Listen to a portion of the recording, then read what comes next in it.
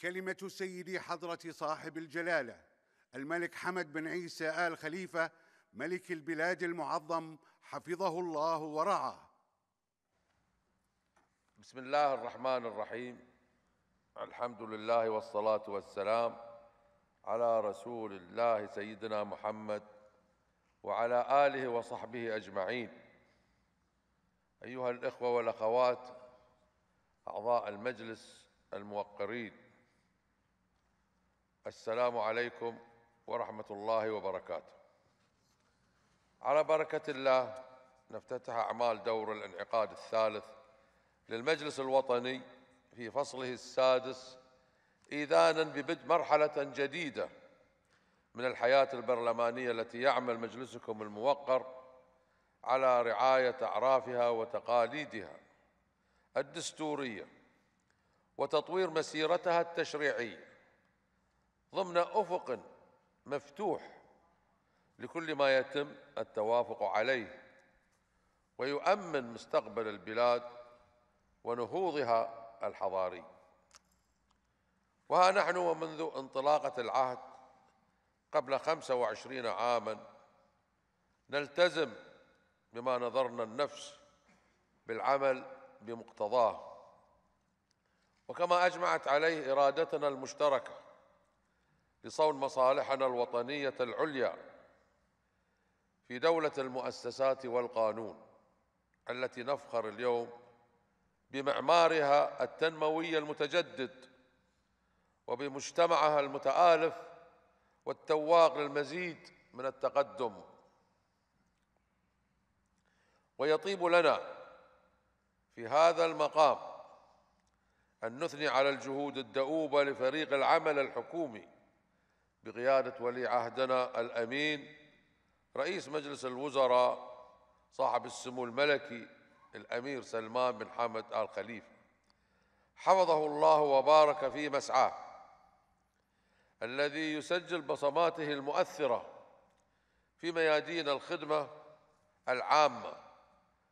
بانتهاج أفضل الممارسات الإدارية والتنظيمية ولضمان أجود الخدمات الحكومية.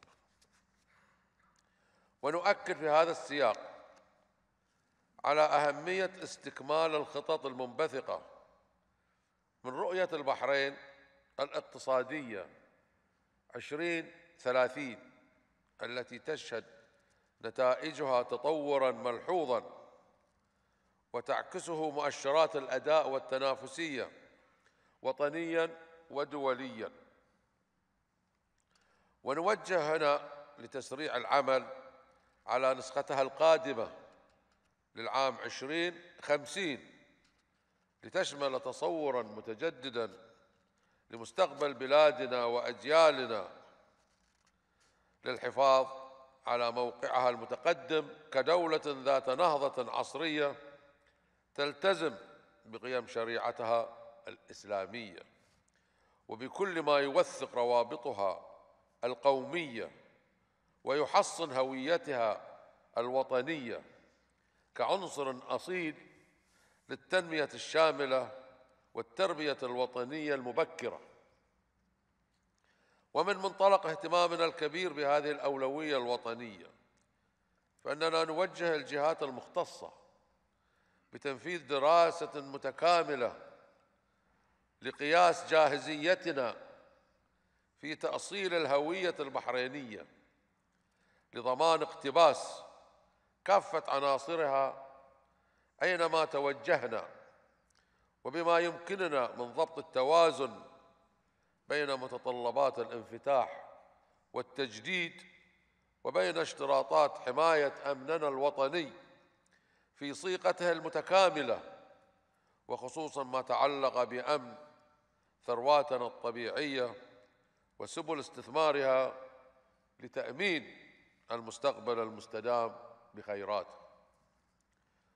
ويطيب لنا على هذا الصعيد أن نعرب عن ارتياحنا للجهد المبذول لرفع مستويات الأمن الغذائي والثروات الطبيعية وفي توظيف التقنيات الحديثة كالذكاء الاصطناعي. ونوجه هنا إلى تكثيف برامجه في القطاعات الحيوية وفق النظم والمعايير اللازمة للارتقاء بعلومه ومعارفه ولتنمية عوائده لتعود بالخير والرفاه على الجميع. كما نبارك كل ما يبذل على صعيد تواصل بنائنا الحضاري المتسلح بعزيمة وطنية صلبة تجسدها قواتنا العاملة سواء في الخدمة المدنية ليقدموا أفضل أشكال البذل والعطاء أو على ساحات الخدمة العسكرية ليخطوا أروع صور التضحية والشهامة فهم عيوننا الساهرة في الذود عن الوطن وحماية مكتسباته. ولا يفوتنا كذلك بأن نشيد بالإنجازات الرياضية الأخيرة والمتمثلة في حصول مملكة البحرين على عدد غير مسبوق من الميداليات الأولمبية. فشكرا لهم جميعا والتحيا بهم بحريننا الغالية. الأخوة والأخوات تلتزم مملكة البحرين بكل ما يملي عليها واجب التضامن والتعاون لنصرة القضايا العربية. وبالسعي الجاد والحثيث من أجل خير الإنسانية وتقارب مجتمعاتها تحقيقا للسلام العالمي الذي يجب استعادته في مثل هذه الأوقات الصعبة. ولقد أكدنا مرارا على وجوب الوقوف الفوري للحرب في قطاع غزة وباستئناف كافة المساعي الدبلوماسية للأخذ بالحلول السلمية وصولا لتحقيق السلام العادل والشامل والقائم على حل الدولتين وفق القرارات والمبادرات التاريخية التي يجب الإيفاء بها.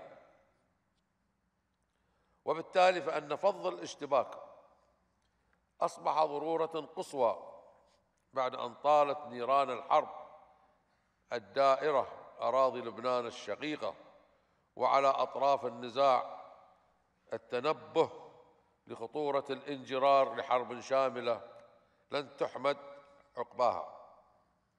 ونجدد على هذا الصعيد دعوة مملكة البحرين التي تبناها الاجتماع الأخير للقمة العربية لعقد مؤتمر أو اجتماع موسع وعاجل يعيد الأمل في تحقيق السلام المنشود.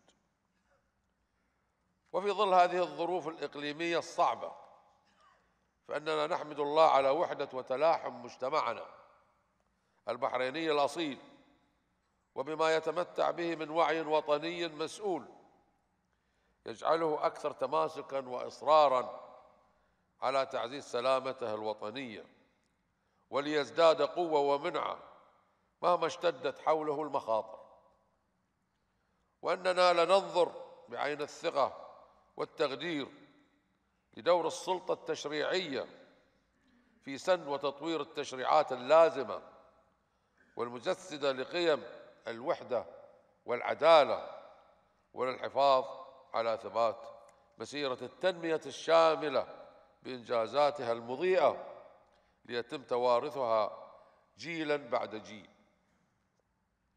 وختاما ستبقى البحرين وكما هو العهد بها عونا وسندا لأشقائها وأصدقائها وستظل نموذجا متحضرا في حفظ الحقوق وحماية الحريات بعون المولى عز وجل وبفضل الروح الوثابة لأبنائه وبناته في تأدية واجباتهم الوطنية.